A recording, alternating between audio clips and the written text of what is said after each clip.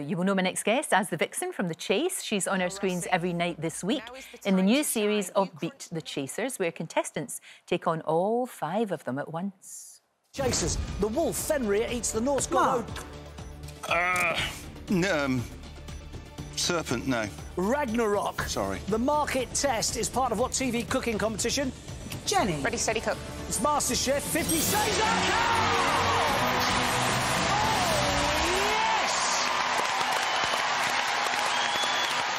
Well, the vixen Jenny Ryan joins me now. Is it still stinging a bit after last night? oh, um, having to watch it again is not ideal. we don't like losing. No, I know you don't. When, I know. And when there's a slip up by one or more of us. I know, and it does get very competitive as well. But that was a brilliant win, wasn't it? It was fantastic it was one of those perfect storms where Kat was she was such a lovely contestant, but that doesn't always translate to being a, a good quizzer. But we didn't have the best run, and she just held her nerve, and I think that's what made the difference for her. No, absolutely. And we've all been doing a lot of quizzing, haven't we, during the, the lockdown? I mean, I know it's your life.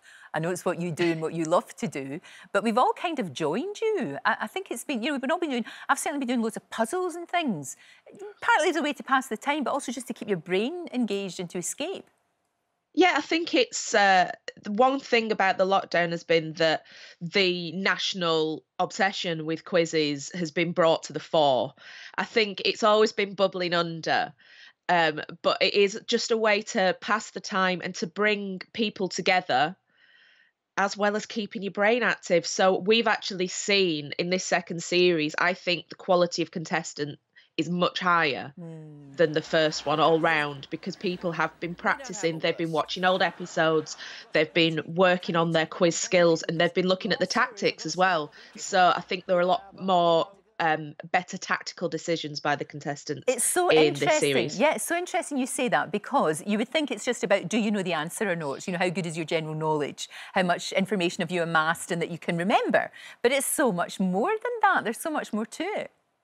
There's a lot of levels to it. Yeah, I think one of the things that people forget is you can learn something perfectly well but recalling it under pressure Indeed. is a whole different skill set. So it's really important to practice and to uh, just to, to keep the neurons firing so that when you are in that situation, you know full well that the capital of France is Paris. But can you remember that under intense pressure with the studio lights on you, with us bearing down on you. We're yeah. literally right over the contestants. It's quite uh, an intimidating setup in there. But it's a real sort of family now, the whole chase, you know, with, with obviously Bradley at the heart of it. And he was the one that gave you your name, wasn't he? He was the one that called you the Vixen. That's true, yeah. Um, so when I first started, um, I had a, a test run, a, a bit of a, a, screen test in the studio with Brad hosting, just as a, a chemistry kind of test, really. And I had my hair in this big ponytail, a bit like this one. The producers have been trying to work out what my nickname should be and they wanted something animally because I like a lot of animal print, and right. uh, they suggested the cougar and I said okay. no because I'm too young to be a cougar. and Brad came up with the vixen because the red hair, it looks ah, like a fox's ah, brush. Right. And foxes are, are, are, really intelligent animals and really cunning right. and uh, can be quite fast. Exactly. I mean, we saw you not just, of course, in, in what you do in the chase. Um, we saw you on the X Factor Celebrity Edition, and people were really impressed by your beautiful voice. I love that dress. You look like a present. It's fantastic. You look like a Christmas present. It's beautiful. But you really, you really did, and, and there could have been something from that. There still could be, but of course, something called COVID got in the way.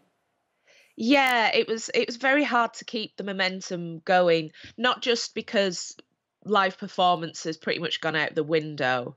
Um, but because I get a lot of joy from enjoying music with people, and I think that's something that the joy was taken away from music for a few months for me. So I'm I feel like I'm a little bit behind with the music, but I'm everything is crossed that live performance and live theatre comes back this year because I would love nothing more than to get up on a West End stage and uh, belt a few numbers out. So Fingers crossed. I hope so. I really hope it works for you. I really do, Jenny. Thank you for joining us this morning. And Beat the Chasers, of course, it's tonight, isn't it? Nine o'clock on ITV. If you fancy going up against the Chasers. Good luck with that, though. Thank you, my darling. Great to talk to you. Thank, Thank you, you, Lorraine. Don't forget, you can watch full episodes of Lorraine on the ITV Hub and all the best clips, compilations, and playlists right here on our channel.